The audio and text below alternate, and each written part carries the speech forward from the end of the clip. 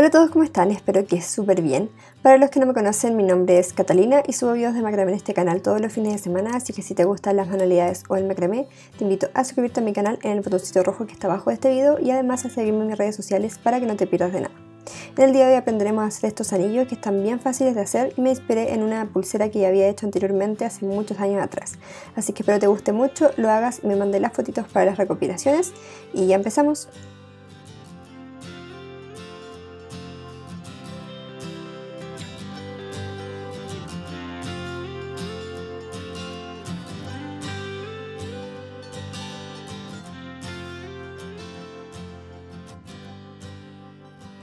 Comenzamos tomando 4 hebras de 30 centímetros y las vamos a juntar todas porque vamos a medir a los 7 centímetros aproximadamente y la colocamos en la tabla con pinza para comenzar a tejer. Entonces con las hebras del lado izquierdo, con estas dos, hacemos un nudo cordón hacia la derecha, que si no sabes hacer estos nudos te dejo un video en la cajita de descripción para que no te pierdas. Y después con los otros dos hilos que tenemos en el lado derecho hacemos un nudo cordón hacia la izquierda. Ahora vamos a tomar una hebra de 80 centímetros, juntamos sus puntas de esta manera para doblarla a la mitad justamente y donde está en la mitad vamos a hacer un nudo alondra doble sobre la primera hebra que está en el lado izquierdo como ven en el video. Y este se hace haciendo primero un nudo alondra simple y después hacemos medio nudo cordón a cada lado de este mismo nudo que recién hicimos. Así que ahí lo apretan súper bien y después hacen el medio nudo cordón restante que nos queda. Y ahora vamos a tomar otra hebra de 80 centímetros, también ajustamos sus puntas para doblarlo exactamente a la mitad. Y en la mitad vamos a hacer un nudo alondra doble también, pero esta vez sobre la siguiente hebra, que en este caso es una de las hebras del medio que teníamos de base. Y también hacemos un nudo alondra doble, recuerden que se hace primero un nudo alondra simple y después se agregan medios nudos cordón a cada lado.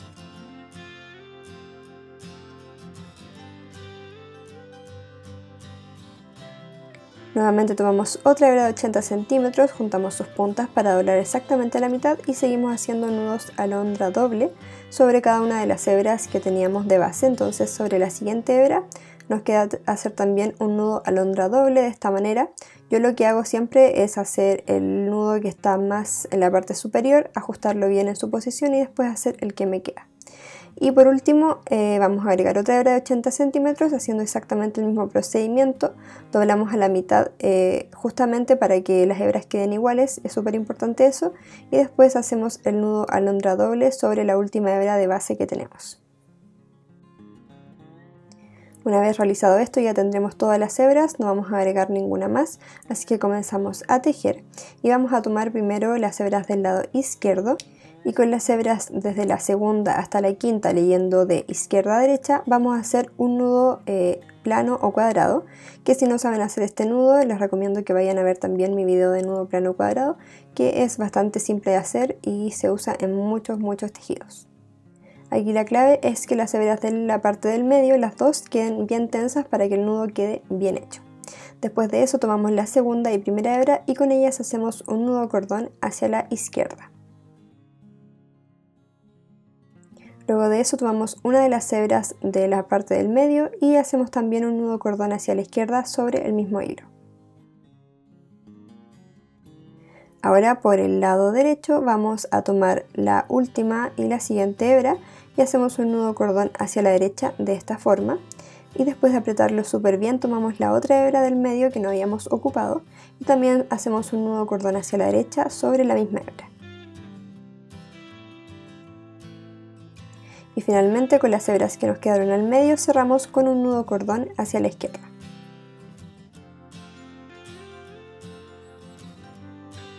Entonces ahora nos vamos por el tejido del lado derecho y es básicamente lo mismo porque vamos a tomar las hebras desde la segunda hasta la quinta leyendo ahora de derecha a izquierda y hacemos un nudo plano o cuadrado que es exactamente igual como lo habíamos hecho anteriormente y es solamente un nudo el que tenemos que hacer. Recuerden dejar las hebras que están al medio de este nudo súper tensas para que el nudo quede bien hecho.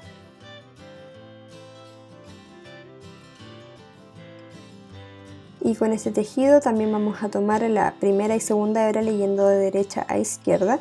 Y con ellas hacemos un nudo cordón hacia la derecha de esta manera para hacer como el borde del tejido. Y después tomamos la otra hebra que debería ser una de las del medio. Y también hacemos un nudo cordón hacia la derecha sobre el mismo hilo.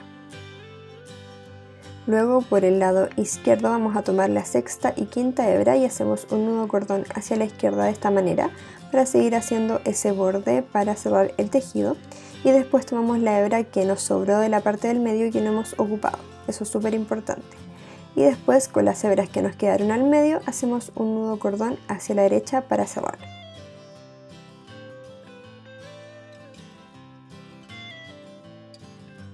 Ahora acomodamos el tejido y vamos a tomar la cuarta y quinta hebra del lado izquierdo, por supuesto leyendo de izquierda a derecha de esta manera y hacemos con ellas un nudo cordón hacia la izquierda.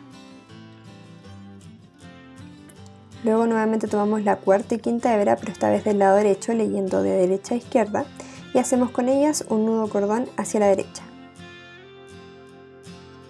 Opcionalmente vamos a agregar una mostacilla en la sexta hebra leyendo de derecha a izquierda y con esta misma hebra sobre la que pasó la mostacilla hacemos un nudo cordón hacia la izquierda sobre la hebra sobre la cual están hechos todos los nudos del lado izquierdo. Entonces ahora tomamos la quinta hebra, nuevamente leyendo de derecha a izquierda, y la hebra que nos quedó por debajo que no ocupamos en la parte del medio, y hacemos un nudo cordón hacia la derecha con ellas.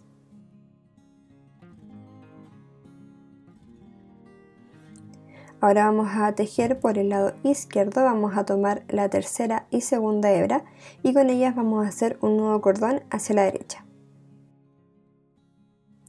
y también tomamos la hebra de más al extremo izquierdo, en este caso la primera, y hacemos un nudo cordón hacia la derecha también.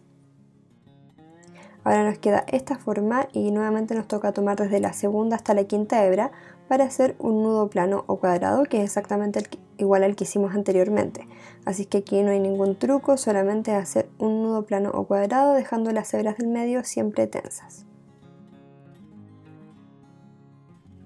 Y al igual como lo hicimos anteriormente después de este nudo vamos a tomar la primera y segunda hebra y hacemos un nudo cordón hacia la izquierda para comenzar a cerrar y hacer el borde. Y después tomamos una de las hebras del medio también para cerrar y hacer un nudo cordón hacia la izquierda. Luego vamos a tomar la sexta y quinta hebra de este lado y vamos a hacer un nudo cordón hacia la derecha para seguir haciendo este borde pero por este lado y después tomamos la hebra que no hayamos ocupado de la parte del medio y también hacemos un nudo cordón hacia la derecha. Y finalmente con las hebras que nos quedaron al medio hacemos un nudo cordón hacia la izquierda para cerrar.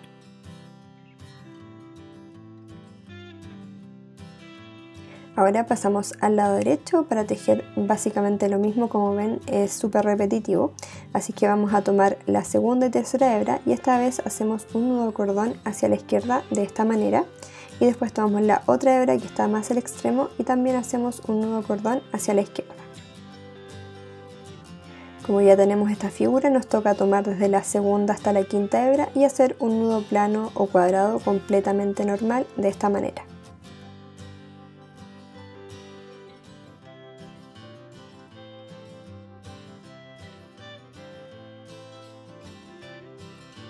Y entonces ahora para cerrar vamos a tomar la primera y segunda hebra y hacemos un nudo cordón hacia la derecha, la apretamos súper súper bien.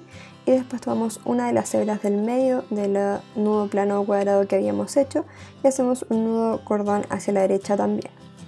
Luego tomamos la sexta y quinta hebra también de este lado y hacemos un nudo cordón esta vez hacia la izquierda, lo apretamos súper súper bien.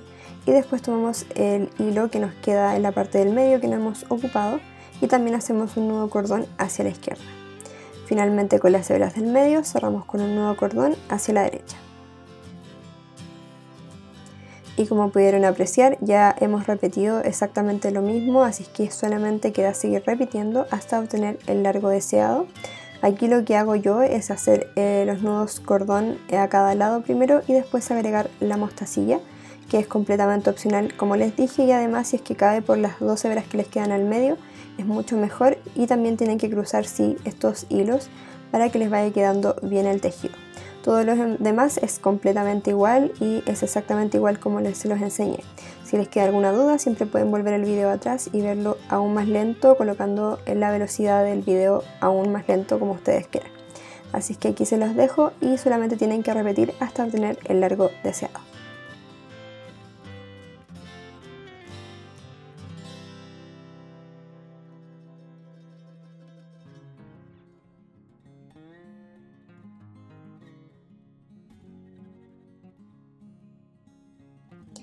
Finalmente yo repetí 7 veces lo mismo, pero dependerá del tamaño del anillo que quieras, la longitud de las hebras que tú quieras hacer.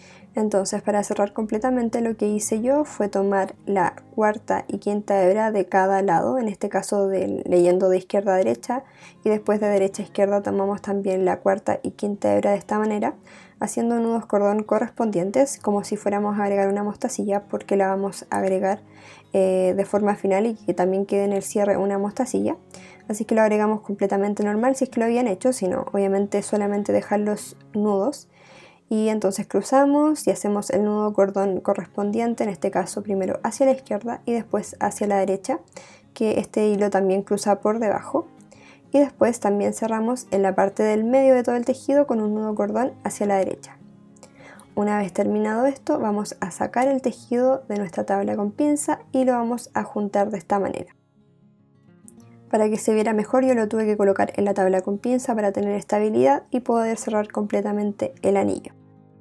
Ya, y mucha atención aquí porque como ven el tejido del lado derecho tiene dos hilos y yo tomé el que está como en la parte de más abajo, que apunta hacia abajo, y sobre él comencé a hacer nudos cordón hacia la derecha con los tres últimos hilos que tenemos en esta parte de abajo. Ignoré los demás y solamente tomé los últimos tres hilos como ven ahí.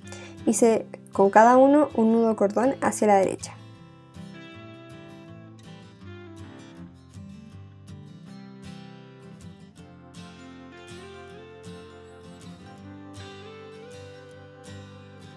Y una vez terminado esto vamos a girar nuestro anillo y vamos a hacer prácticamente lo mismo al otro lado. Entonces tomamos el hilo que está más hacia abajo. Como ven en la parte izquierda tenemos un tejido que tiene dos hilos y este tiene uno que está como apuntando hacia abajo. Y vamos a tomar las últimas tres hebras del tejido que está al lado derecho para hacer nudos cordón esta vez hacia la izquierda sobre este mismo hilo que recién elegimos y estamos ocupando para cerrar